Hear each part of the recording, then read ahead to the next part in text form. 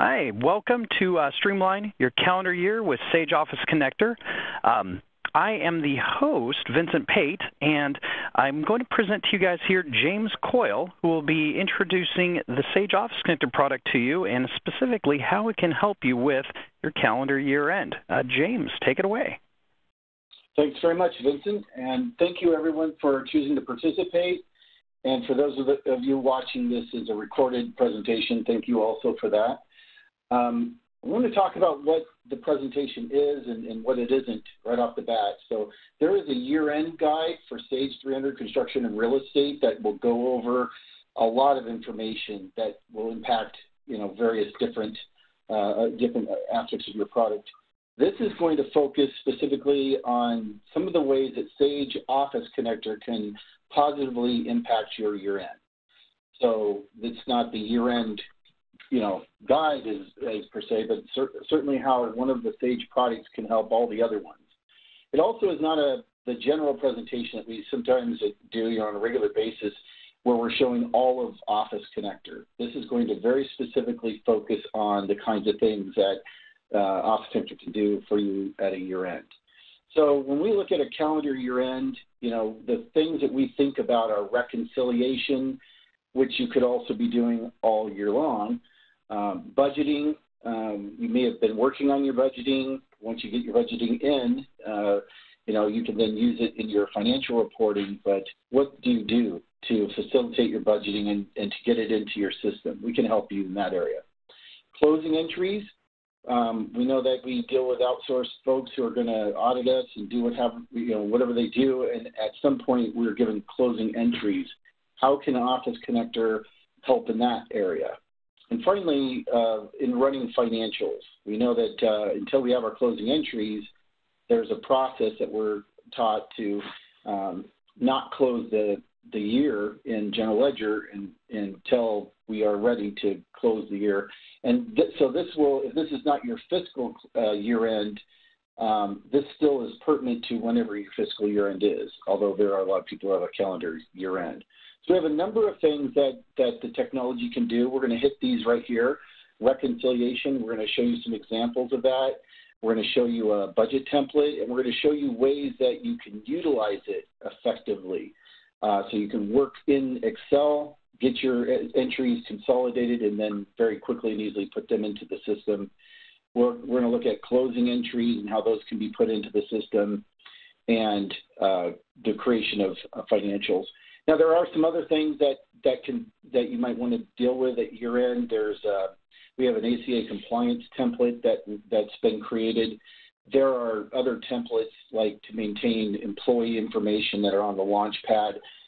This is a fixed time limit, you know, presentation. So if you want to know more about these other areas that we can positively impact you, uh, then just let us know and we'll be able to facilitate that for you. When we uh, are covering Office Connector, there are three products in the Office Connector product suite, the query, the write, the import. Um, and the query and write have designer and standard licenses. Import is a site license. We can talk to you at the close of the presentation on um, which license types you may be interested in or, or adding additional ones. There's an additional license uh, along the query area called financials. And um, so if you have the query capability, you add that capability and you'll be able to do the financial reporting that we're going to be talking about. So let's just take a look at how uh, the software can help you out here. What I'm going to do is I'm just going to minimize my screen here, and you should see the Office Connector Launchpad. I have the Office Connector Launchpad on my desktop, also accessible on the Sage desktop, as are the, the templates. Um, when you generate workbooks from these, you know, the templates can be added as like reports on the on your application um, menus. So that's other ways that you can get access to these reports here. And I'm just going to focus in on these here. And, and the two tabs, I'm, or the three tabs I'm going to focus on are reports, import, and financials. And initially, I'm just going to focus on uh, some of these that you'll see up here at the top. The batch reconciliation, I'm going to look at that. I'm going to look at the GL Account Explorer, and I'm going to look at the um, job cost GL reconciliation. Those are the three templates I want to focus on here uh, initially. So I've got a few of those things up. I'm going to I've already generated them to save time. Uh, if you have Office Connector, then you can just select the uh, template there and it will generate this workbook on your data. If you don't have Office Connector and you get the software, even, even in evaluation mode, you'd be able to run this report. And you're going to have a result that's going to look like this, uh, except they're going to be your batches. So in this situation, we're giving you the ability to, to look at all your general ledger batches, looking in both your current and history file, where you can quickly identify if a batch is out of proof. Now, that's something you could have been doing all year long. You probably should have been doing that all year long. So if you've had Office Connector and you weren't doing this, you probably should have been doing this because it's uh, useful. If you found something out of proof, you could investigate it. But another thing that people do is during, especially auditors, during an audit process, they may want to look into certain batches. So I can identify a specific application and a time range and see the batches that impact that. Or I can focus in on a batch that might look odd. So look at this one right here at the top. It's got no debit, no credit. So why is that? So that's AP uh, batch 9. So I come here to my batch details page. I can put in AP batch 9, yeah. and I can refresh it. Did, was there a question? Right, I thought somebody popped in with a question here. So I put in a certain application origin, a certain batch, and clearly the totals here are blank, but there's detail down here. So when you see things like this, that could possibly be something suspicious. Uh, but, but in any case, this gives you an, a means to organize information, you know, very easily, as opposed to running a, a, quite a few different reports. You'd have to get to get this kind of information. Otherwise, it'd be a number of different reports that you'd be running in your Sage application. So I can look at my accounts payable. I can look at each application to see how that batch may have impacted it, and all the way through you know, the system. And of course, the general ledger detail is on that first page. So batch reconciliation is one area. Now, if there, I'm going to close these. So if you have a question about it later, we'll have to reopen it up. But it will give me uh, save some uh, memory, so I don't run out of memory issues. Now I'm going to look at the Account Explorer as another option. And this is going to allow me, when I generate this, there's an administration page where I can put in a mask percent sign means all accounts, but I could put in like 10 dash percent and it would be everything that started with a 10. You know, I can use wildcards in this area. I can look at my method of accounting and exclude certain accounts. But by re- refreshing, I'm going to get my general ledger account activity and balance. And I can then, with this, something it's drill down enabled. So if I wanted to see what was made up one of these accounts that I'm trying to investigate, maybe this accrual, I can just double click it and it will pass the parameters to another query, another report. So it does drill down, not a pivot table. This is more. Um, if we, we couldn't pull all your general ledger uh, into um, Excel, most likely, you probably have so much detail in there, it would take a long time to do it anyway. It's not practical, and you don't have to do that with Office Connector. We can pull the detail that you need to back up totals just with a click and this particular one, I could see it, I could focus in on that particular batch. Now I see other entries. And if this had something to do with an invoice or a check, this is already ready to drill down into invoice and check detail. Um, and this can, if you have the designer license, you could expand this template's capability to drill into more, like payroll, property management, you know, job costs, whatever it is. Um, this is just as far as the substantially complete example here uh, goes. But it goes quite far, so you can use this in your process, uh, in your, your end. Another template I want to show you is just this is this is one that is going to reconcile job costs and GL. And you could create your own reconciliation templates to reconcile any application to any other applications. This one just demonstrates a, a way to go about doing that. So, um, and if you're new to Office Connector, every template, if you go to the uh, information page, will explain how to use the template, what its purpose is, what tables it uses, what applications are necessary.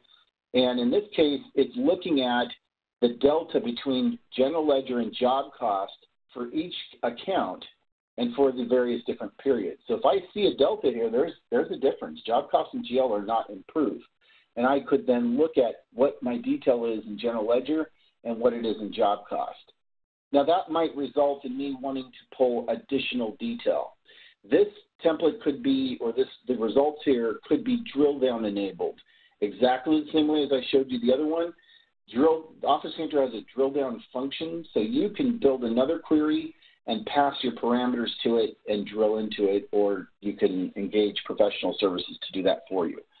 Um, but the tool was created, this Office Connector tool was created so that you could be able to build your own reports or add additional, you know, ad hoc capability to it. This is one example of how reconciliation can work. You can see if you complete these reconciliations in advance, then you could be doing these things during the year and catch issues that might have put you out of proof so that you have less issues to deal with at the end of the year. Now I want to show you one other template. It's on the Launchpad and it's it's called Quick View. It's at, it's at the bottom.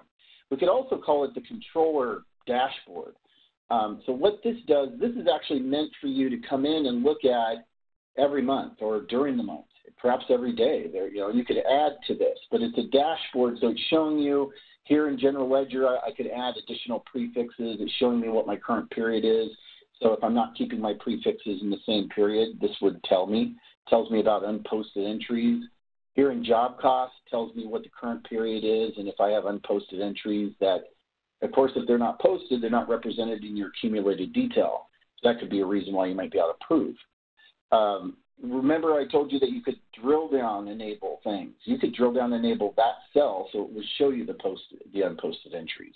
And it, you know that's how these this technology is meant to expand and do all the different types of things you might choose to do with it. So anyway, you see that it's a, a view and you could have the same kinds of views for an executive. You could have the same kind of a view with for a, um, you know, depends on whoever it is. Operations can have a view of the projects and what have you. This particular one already built and ready for the controller. So that's a quick view, and it's been there. So I've been on your temp, your launch pad for quite a while. As long as that was one of the first ones actually. Um, another thing that I want to point out is the ability to search transactions. Now, this is this is a template that's on the starter tab. It can't be expanded beyond what it does on the starter tab, but it's it's used a lot, and, and really there's no other way to do this easily in Sage. But you could identify the applications you want to search. You can put in parameters. There's some common fields here, but beyond that, there are fields that are general ledger specific, jobs cost specific, accounts payable, etc. But if I get to the point where I identify the applications and parameters, I can tell it to search, and it will go out and it will look in my database for any occurrences of that that what I told it to search for. And in in the text that I put in, it'll look for that text anywhere in the strings, anywhere in, in the system. Tells me how many matches I have, and if I click here, I can get to exactly what I want. So fantastic audit tool right here, and you should definitely take advantage of that. So that's the things that can that we can do to help in your auditing and, and research and these types of things. Another area of year end is maintenance of information. Now I did not go into the um, the right payroll, you know, employee rate tables, unions. There's three templates right there that if you have payroll can be very useful. You can create the same types of templates to maintain information on accounts payable, job cost, what have you. And you can also maintain information on, on multiple tables from different applications all on one screen if, if that was a convenient way to lay out information. So you can streamline your work processes, make something uh, that might take you know be tedious and take a long time to do, much easier to do uh, by assembling information in a useful way. It doesn't use the use of payroll. So if I was using this one right here and I was maintaining things, it does not use the use of payroll. It's just using ODBC. So I could go into setup and do this, but I could also go right in here. Now, you can't get access to payroll information unless you have the security to access that. So your SAFE security locks access to this information and of course, all that financial information I was looking at, you can lock that down so only the appropriate people can see that kind of information. Okay, um, now I'm not going to go into that one, uh, but I am going to go into this the budgeting. So budgeting is a very important area, and I've done a couple of things with this particular budget template. Um, I did not open that one up, so I guess I will. Here it is, right here.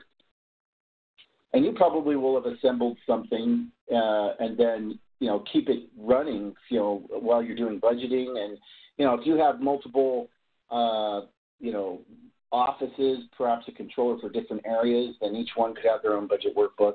The way this works is I've got a list of accounts I'm focused on here, and when I open up this template, all all of this is going to be blank unless I'm already working with budgets. There'll be there'll be no budgets in here. There'll be nothing over here. This is stuff I've done to the template after I created it. So what the template is when you open it up is it would allow you to type information into here, and then uh, up here into the uh, add-ins, if I use this icon out here, if I have the right standard license, it will write the budget information into General Ledger. You do not have to go into General Ledger and type it again. It's already right here. We'll just put it in there for you. No keying entry errors. Very quick, very easy. Um, this utilizes the write capability. This is the only um, one, you know, in, inside here when we talk about write and import. This is budgets are the only thing that can be written, but they can also be imported. So if you got the import budgets, then this template wouldn't work, but it could be repurposed so that the formulas were TS import formulas as opposed to write formulas. So, um, but anyway, so how the now I never spend time when I demonstrate this. I don't think even Vincent you know does in presentations is to how we've seen people utilize this. So you of course you could just type information in here. Another way is what I did right here is I just looked up the values of the current and then each period in, in the past. And, and there are people I see who do mathematical operations on some of these. You know, maybe they mark it up by a certain percentage, and they could just copy and paste them right here you know, and quick and easy get the values in here. Um, now, prior to creating something like this, we've seen that people will use Excel for budgeting for lots of purposes, and they will have other workbooks or other worksheets with information. So, what we want to do is, again, we're in Excel, we want to streamline processes. So, I'm going to show you two ways to do that with this. Here, what I've done is I've created an account, and I could have other accounts or other sheets, but I'm just focusing, say, on income. And what I did here is I, I got a list of my projects, and here I've, I've laid out the months, you know, going across the top. And then I've essentially I've summed up the the uh, you know the revenue. Perhaps it's the billing for each each of these. I've summed it up across here. I might have some escalation because I'm thinking about what I'm going to be doing next year. So maybe I've got a 4% increase and I'm thinking about whatever work we did this year, I want to increase it by 4%. Maybe I want an additional adjustment. And now I've got these totals down here. Well, now then I might want to use this workbook next year or do it use it for a revision later on. So what I've done is the totals, I've put names on these totals. So I'm using defined names. To do that, like if I wanted to do, let's say I was going to define this name, I just come up over here and I could say percent increase, and it gets that name. Okay, so I've defined the name. The reason that's so useful is, is no matter how many projects you have here, whether there's fewer or more, these cells will always have that name on them. So over here, that's what I have. I have that defined name right there. So it's pulling the January income right into there. So no matter what happens to that worksheet, it'll pull it right here. And guess what? If that was in a different workbook, you could identify the workbook and the defined name, and it will pull it from another workbook. So that's one way. Well, this is the second way. This is the first way. This is the second way. Now, a third way that you could might work with this, and there's probably a lot more with Excel here, is like using um, Excel functionality. Here's a sum if function. So right here, I've got this that says sum if it's just a it's a, a Excel formula here. If I click this, you can see I'm going to sum certain information. This is the range I want to look at. This is what I want to compare it to, and if I get a match, this is what I want to do with it. So in my example, I'm going to sum. I'm going to look. I want to look right here in column A, and if there, if the, I'm going to look at the, all the GL accounts because that's what's in column A. No matter how many I have in here, it wouldn't matter. This formula will still work. And so I could just keep expanding this range. So it's, you know, or just make it really big. then I'm going to, in this, remember, I'm on this other budget sheet. So I'm showing it what it needs to match. So it has to match the account in row B22. And if I copy that formula down, it would be B23, B24, you know, whatever account I'm talking about. And then if there's a match, if it is that account, then this is what I want it to do. I want it to sum up a certain column. And here I'm summing up, you know, January, February, March, April, May, you know, so on and so forth. So if I'm right here, this has summed up all my um, bonuses. So if I I might have an, one account in my system, but to work up my budget, I I may have it listed several times. No matter what I do on that other sheet, I want to sum it up for January, February, March, April, May. If the account is this, well, this is a completely different account right here, and this sum still works. All I did is copy this formula down and across. That's all I had to do. I built one formula, I copied it across, I copied it down, and boom, I'm done. So that's the beauty of this sum SumIf function. They're pretty darn fantastic.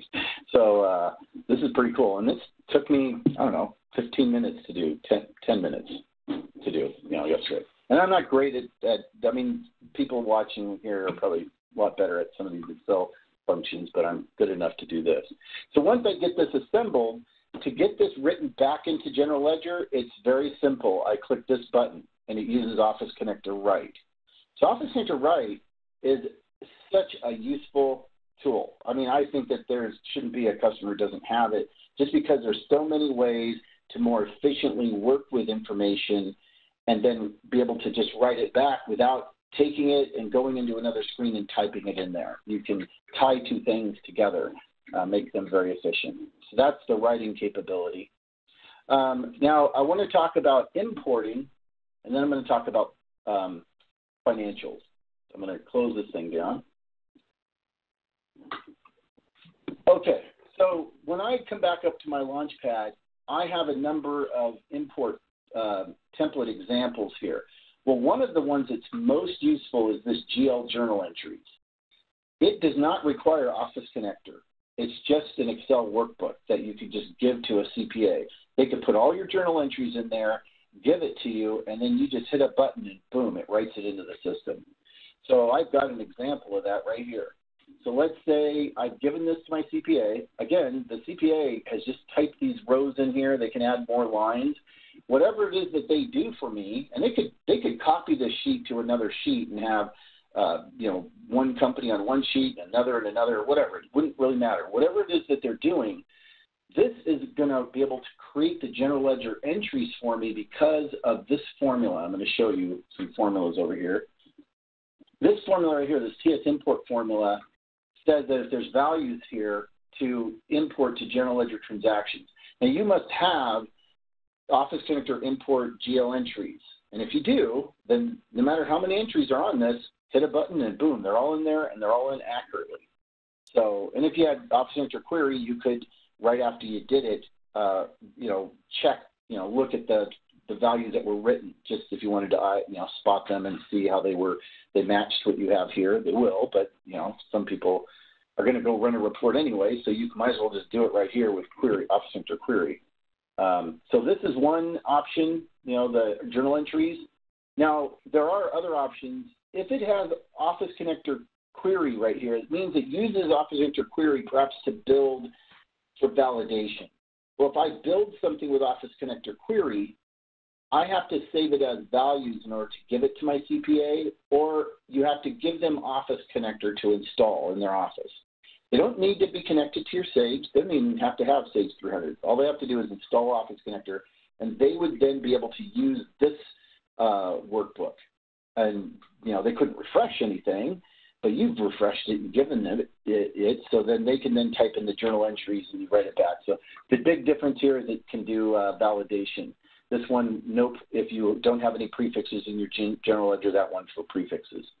Notice that there's also one for direct costs, so job cost, direct cost entries. Sometimes I know that entries are going to affect job costs and also general ledger. So for people who need to do that, then you'd be using this one. And this one does use Office Connector Query. So again, I refreshed. If I gave this to my CPA, then I would want to give them Office Connector um, so that they could see the result of formulas. Um, but I could also, alternately, just click Save as Values. And so I've built this workbook for them, I've given it to them, and then they could put the values in there. There will be validation because there's hidden worksheets here that have a list of jobs and cost codes and things to compare it against. So the strategy to, to build something that somebody's going to use who's not connected to your Sage is to uh, query the information into Excel, and you know that doesn't have to be in a visible sheet and that way the validation can be against that list that was built, and that's what we've done, you know, in this situation. Um, and we do that a lot, like with remote time.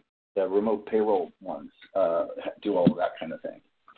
So there's some there's ways to get entries in from outside. So you don't have to type them in. You can do your work here and boom, put them into the system. You could copy entries and make changes to them and put them in. You're working in Excel. The thing that's putting it into Sage is are these hidden formulas that you're not seeing over here um, that are doing the importing. Those are that's what's putting it into Sage for you. Okay, so that now we're going to end up with financials, um, and uh, I I you know we have presentations on Office Connector financials. We have a lot of content on YouTube on how to learn how to use financials, and we have a PowerPoint that only focuses on it that shows you, uh, you know, images of, of all the different uh, workbooks, you know, templates that come with Office Connector Financials. It's a site license. So if you have Office Connector Query, you pay one amount of money and you get financial capability. And you can run all these financials. So if I did Office Connector Financials, there's a number of reasons why it's useful, number of things that it does that that uh, the native financial reporting inside of Sage doesn't do and frankly, Sage competitors are cannot do what this product does. Um, so if I'm inside of here, I could generate a workbook. When I generate a workbook, I could sell going to consolidate prefixes. I can do all these different types of things, refresh it. I can get my trial balance and balance sheet and profit and loss. I can drill down into the detail if I if I wanted to know what made something up. But the challenge historically and when I was a consultant, this is the thing I had to teach people is if you wanted to do a financial for next month or the month after or the month after, and you haven't closed your year yet, then I would teach you a process to follow. And it's just the way things are. Sorry, you know, but it's not the way things are. Office Connector Financials can do a financial statement off of a future period. So if you if your calendar year was your fiscal year and you put in 2016, oops, right over here, sorry, 2017, it is my general ledger, let's say, is in December 2016, but I want to do a financial for January of 2017. I go 2017, and if my fiscal year is the same as my fiscal periods are the same as my calendar period, a one is the same. If they weren't, you put in a 101. A 101 is a calendar um, January. Um, but again, if your fiscal periods are calendar periods, then 1 and 101 are the same for you. But if you do that, we will look at future balances and produce financials for you. So you can do that with this technology, and you can't do it otherwise. So you don't have to worry about this copying and cl- closing the year, and then doing it for February and doing it for March until you have your closing entries. Just run the report right here out of financials. Okay. Well, yes. Perfect. Well, I was going to say, uh, as a, we're we're actually hit the time, and I don't know if there's some people that have to leave early or anything like that. I wanted, oh, um, uh, I'll, uh, I'll I'll give us a couple extra minutes. So we'll stay late to answer any questions you guys have. Uh, but could you real fast uh, jump to the the last slide for me, James? Before we, we jump back over there. Uh, I just want to let everyone know, um, especially if you had to pop off the phone right now, because it's a great opportunity to say it. Um, you know, Office Connector's got a lot of different module pieces to it. If you guys are interested in adding any piece you don't currently have today, you can contact us at the 800 858 7095 number or talk to your Sage business partner or email me, vincent.pate at sage.com, and I'll get you over to the right person. Everyone who has attended today, we are giving you a 10% discount uh, until the end of December. So feel free to uh, contact us and we'll get you, um, you know, taken care of. Um, I'm also going to go ahead uh, and say uh, James got at least one more uh, slide there to kind of give a little bit of uh, clarification on all that, and then we'll stay a couple extra minutes here for um, Q&A, and then I'll send out the recording to everyone. So uh, James, um, sorry to interrupt, but I'll let you kind of finish off there. And. I was so proud. I was almost directly keeping it within 30 minutes. challenging. But anyway, so as you see, you have the Office Connector query is very useful. So you can use a designer standard license to run any of the things I showed you. Um, I didn't do anything, any new designing. I just re- did reports that were on the menu. So Office Connector Standard would work in that situation. Although if you want to build your own financials and add to them, then you know the query designer along with financials is useful. To that, if you uh, add Office Connector Write, there are a lot of capability. And as you notice, I showed you even additional ones like uh, updating payroll information and, and uh, things like that. So that does, the standard license is very, very useful. Um, I showed two imports. The GL entries was one, and the job cost, direct cost. And those are templates that are just right there on the Launchpad. You could use those and just get those two features right there, and you'd be in business. So thanks, everyone, uh, very much for your time. And Vincent, thank you very much for hosting this. Appreciate the opportunity. And one, one last quick um, piece. I know I've been answering questions in the Q&A as they've come up. Um, uh, I'll give uh, one last opportunity. Any last uh, burning questions for us before we, we sign off?